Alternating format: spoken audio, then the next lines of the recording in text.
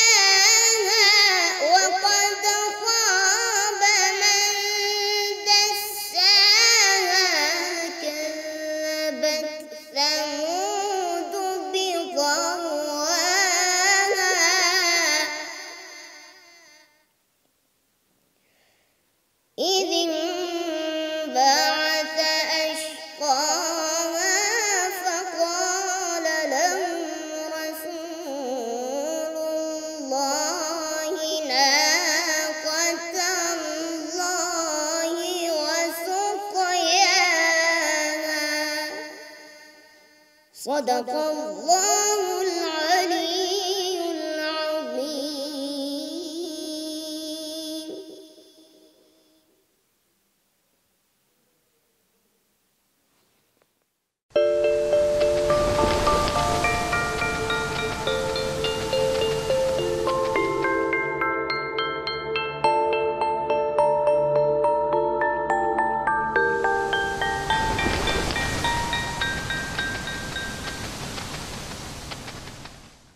به نام خداوند بخشاینده و مهربان و سلام خدمت تمامی شما عزیزان. انشالله که صحتمند باشین و باز هم شما رو خوش آمدید میگم به برنامه خودتان در خدمتتان هستیم. از شما عزیزان می‌خوایم که با برنامه خودتان همراه باشین و ما رو تنها نمانین تا در برنامه امروز هم همگی ما در کنار هم در مورد حضرت پیامبر مهربانی ها همگی ما معلومات ما بالا بره. خب دوستان عزیز قسمی که دیروز هم گفتم ما ویژه برنامه هایی داریم در این هفته که ویژه برنامه های ما با مناسبت فرارسیدن هفته اخوت اسلامی است. و جا داره که یک بار دیگه فرارسیدن هفته اخوت اسلامی را خدمت تمامی مسلمانان جهان و به خصوص شما بینندگان عزیز و ارجمند تلویزیون تمدن و همچنان برنامه کودک به نوجوان تبریک و تهنیت عرض بدارم. در خدمتتان هستیم و امروز در مورد یک موضوع بسیار خوب باز هم قرار است همگی ما در کنار هم معلومات پیدا کنیم. خب دوستان عزیز امروز ما در مورد مهربانی پیامبر اسلام صلی الله علیه و آله و سلم همگی ما در کنار هم معلومات می‌گیریم. و همگی ما می‌فهمیم که حضرت پیامبر ما واقعا یک شخصیت مهربان بوده که با همگی مهربان بوده و بخصوص با کودکانی که در اطراف خودشان بودن یا در محله خودشان بوده یا در شهر خودشان بوده و خصوصا با کودکان واقعا حضرت پیامبر ما مهربان بوده و بر علاوه ای که با کودکان مهربان بوده با بزرگان مهربان بوده و حتی کسانی که با حضرت دشمنی داشتن و مثلا مسلمان نبودن و برخلاف اسلام بودن حتی با اونا هم کوشش می‌کرد که با مهربانی اونا را بفهمانه و بر راه راست هدایتشان کنه. خب دوستان عزیز حضرت پیامبر ما میگن که با همگی مهربان بوده و بخصوص با دشمنانی که مثلا برخلاف اسلام بوده یا اصلا مسلمان نبوده. مثلا میگن که یک یهودی در وقتی که حضرت می‌رسه به طرف مسجد تا نماز بخوانه سر راه حضرت را می‌گیره و حضرت و حضرت محمد مصطفی صلی الله علیه و آله و سلم را استاد می‌کنه و میگه که تو از من قرضدار هستی. و حضرت میگه که خب من از تو قرضدار نیستم. خب هر گپی که حضرت پیامبر ما میگه او شخص قبول نمی‌کنه و امو گپ خودش را مدام تکرار می‌کنه. خب حضرت هم آنقدر به مهربانی و آنقدر با آرامش با او مرد یهودی صحبت می‌کنه ولی می‌بینه که مرد یهودی باز هم دست بر نمیداره و این بار دیگه واقعا یعنی یعنی کم کم می‌خواسته که از خشونت استفاده کنه. تا ای که مردمانی که در مسجد منتظر حضرت پیامبر ما بودن تا حضرت بیاید و نماز را ادا کنن و جماعت را شروع کنن و اونا وقتی که می‌بینن که حضرت پیامبر اسلام صلی الله علیه و آله و سلم دیر می‌کنه اونا هم از مسجد میاین بیرون. وقتی که بیرون میاین می‌بینن که یک مرد یهودی صدرای حضرت پیامبر ما شده. وقتی که همگی مردم میآید و نزدیک حضرت پیامبر ما میشه و همچنان مرد یهودی و قصد خشونت داشتن حضرت به همگی میگه که خب با این کار نداشته باشین. من خودم میفهم که با ای دوست ما چی کار کنم؟ همراهش آنقدر با مهربانی صحبت می‌کنه که مرد یهودی همونجا مسلمان میشه. و دوستان عزیز ما و شما باید کوشش کنیم که همیشه مهربانی را از پیامبر خود بیاموزیم. پیامبری که واقعا با کسانی که حتی مسلمان نبوده یا مثلا قصد آزار و اذیت حضرت پیامبر را داشتن حتی با اونا هم مهربان بوده. پس کوشش کنیم که الگوگیری کنیم از همچین شخصیت مهربانی. و دوستان عزیز کوشش کنیم که ماها هم با همگی مهربان باشیم با دوستای خود مهربان باشیم با خانواده مهربان باشیم با همسنفی خود مهربان باشیم و در کل مهربانی را از حضرت پیامبر خود یاد بگیریم. خب دوستان عزیز و نازنین ویژه برنامه ما همچنان ادامه داره. از شما عزیزان می‌خوایم که با برنامه خودتان همراه باشین و معلومات هم مانده که خدمت شما نازنین ها حتما میگم. دوستان عزیز و نازنین بریم طرف یک میان برنامه. میان برنامه رو ببینیم و در آیتم بعدی برنامه در خدمت شما عزیزان هستیم.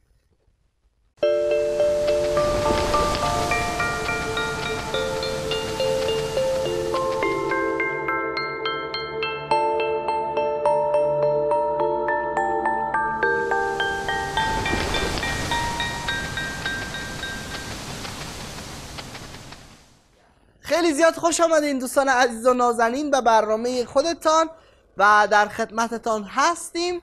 دوستان عزیز و نازنین باز هم فرارسیدن هفته اخوت اسلامی را خدمت شما نازنینا و همچنان تمام مسلمانان جهان تبریک و تهنیت عرض میدارم. در ویژه برنامه امروز در آیتم اول برنامه در مورد پیامبر مهربانی ها صحبت کردیم.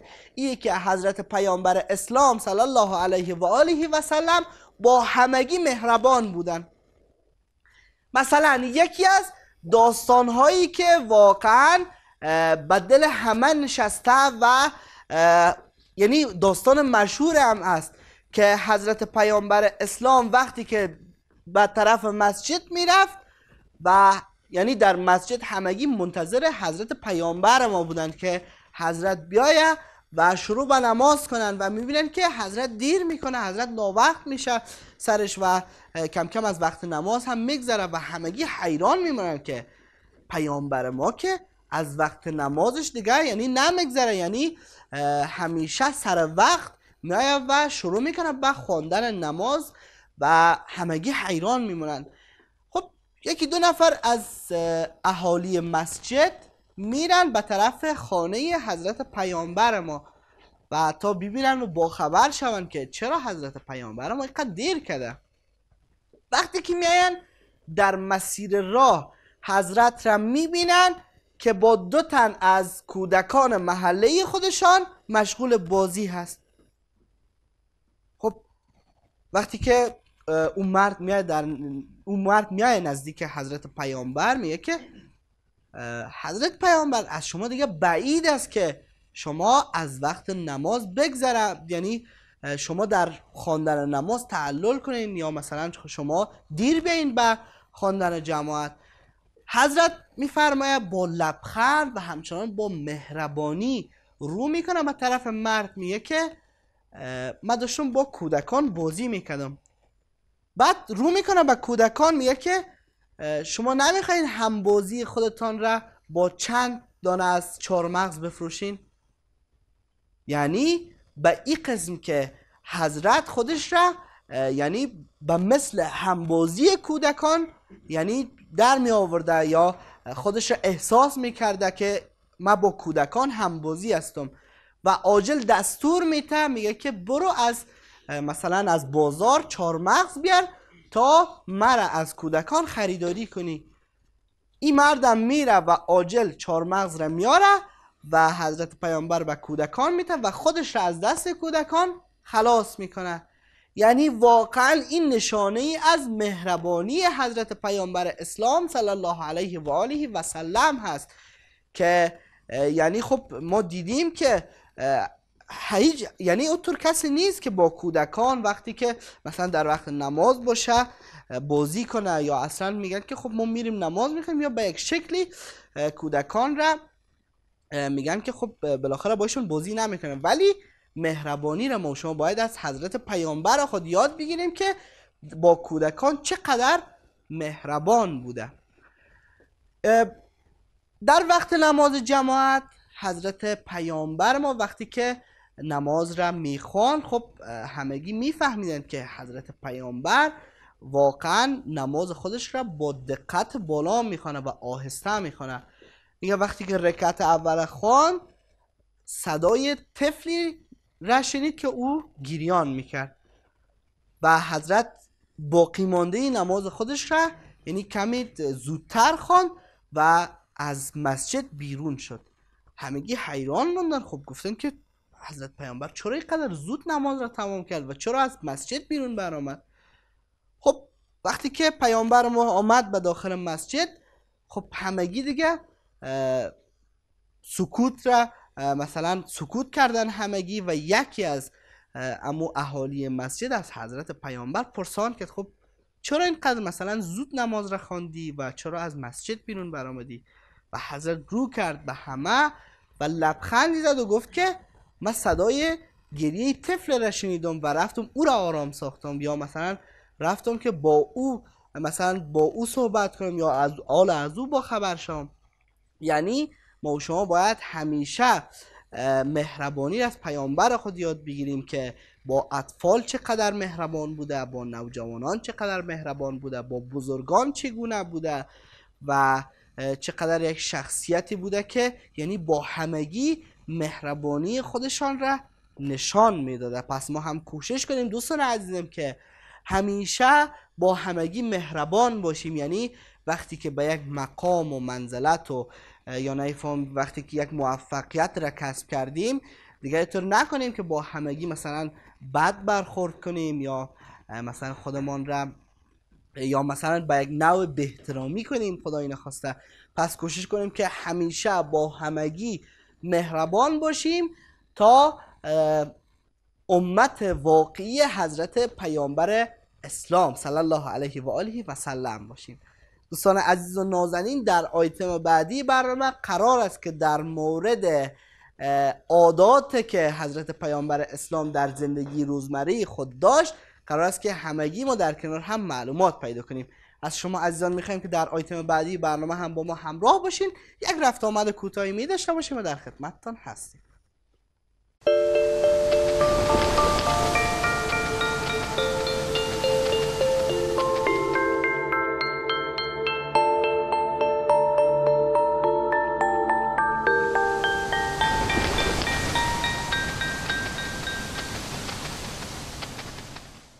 خب دوستان عزیز و نازنین قرار است که در مورد عاداتی که حضرت پیامبر اسلام صلی الله علیه و آله و سلم داشت صحبت کنیم.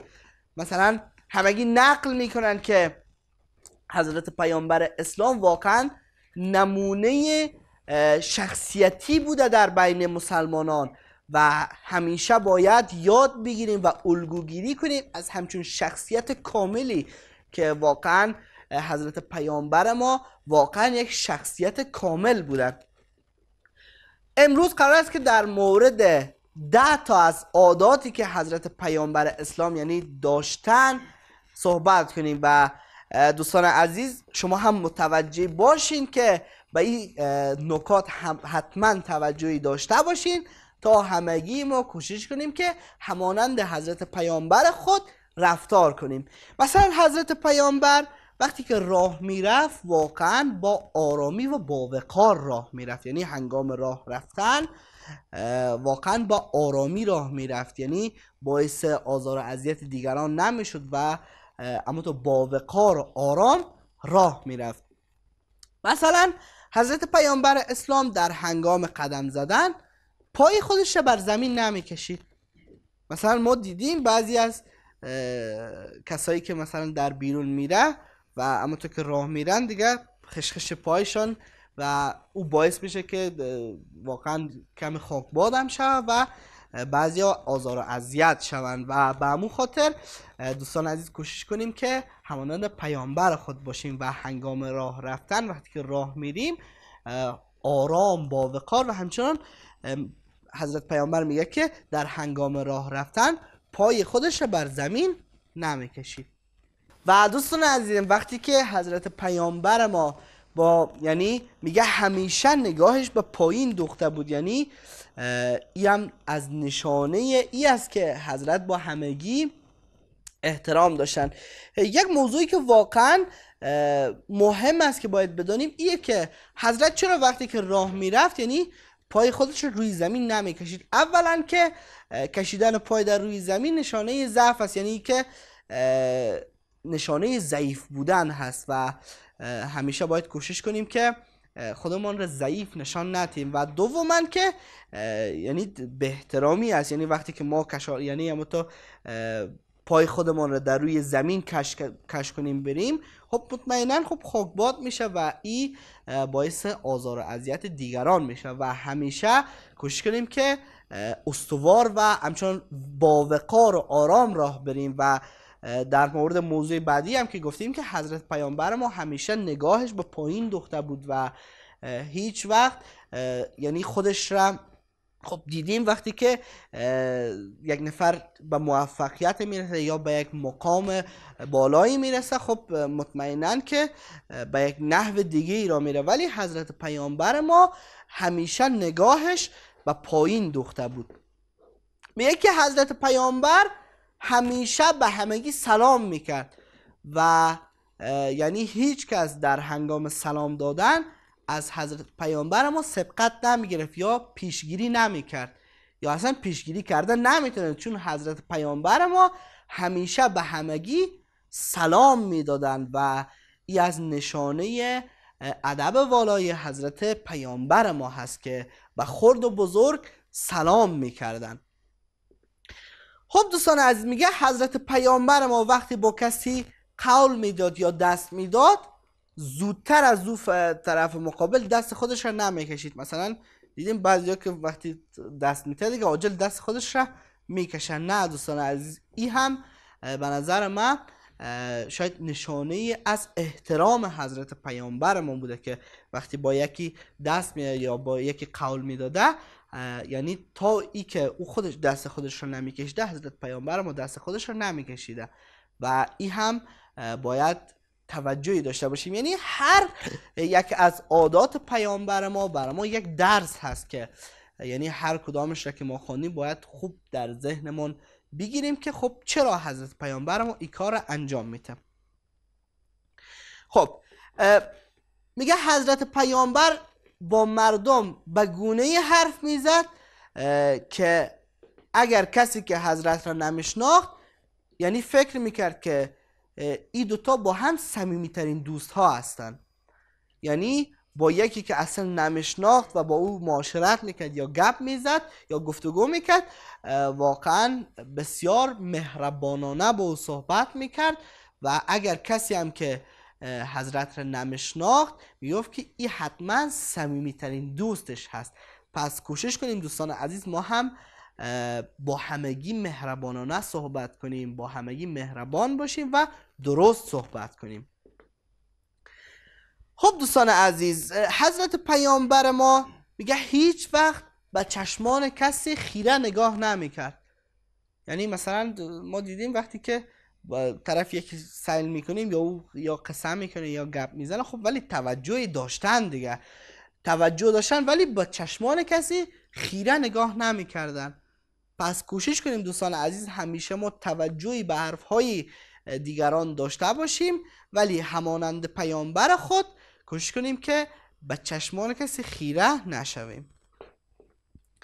میگه حضرت پیامبر وقتی که اشاره می‌کرد با چشمان خودش اشاره نمی‌کرد با دست خودش اشاره می‌کرد.